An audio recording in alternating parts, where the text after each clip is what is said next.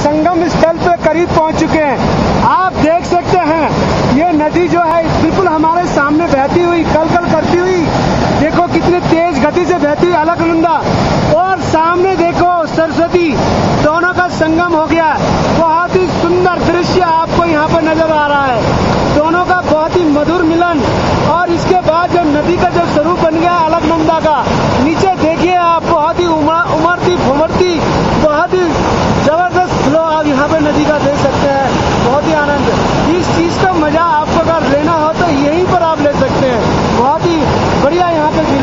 धन्यवाद।